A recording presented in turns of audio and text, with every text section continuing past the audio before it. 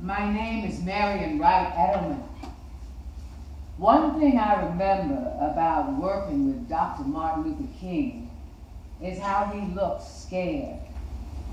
I remember him saying how terrified he was of the police dogs in the back of the car when he was being taken from rural Georgia after he was arrested.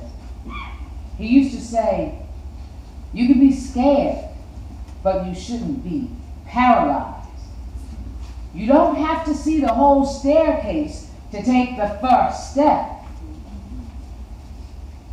If you can't walk, if you can't run, walk. If you can't walk, crawl. If you can't crawl, just keep moving. Just keep moving. Just keep moving. Truth to power.